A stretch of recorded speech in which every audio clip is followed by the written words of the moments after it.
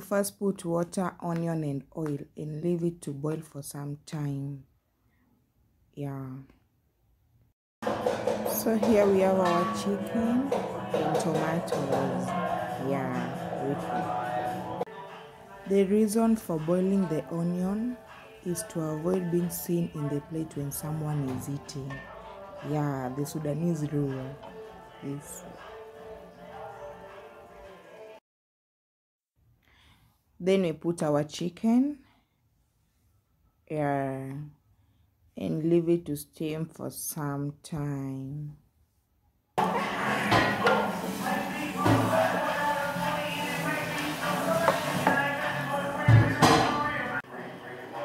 Ingredients time.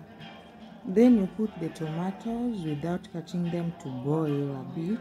Then after them being soft, you peel the outer cover.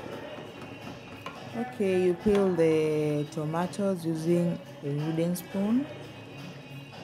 Yeah, to avoid seeing the tomato particles in the plate while eating. Well, some people always don't like such stuff in their plate. I'm done with the peeling part of the tomatoes. Yeah. So I just leave them to dissolve in the cooking pot on their own.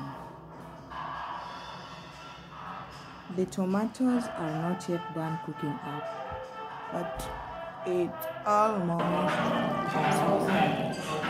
wow.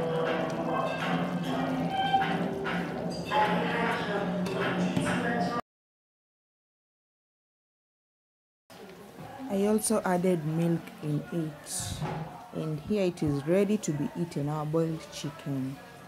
Uh, as you can see there is no onion or tomatoes in the plate yeah, and we served it with rice. It's really sweet yeah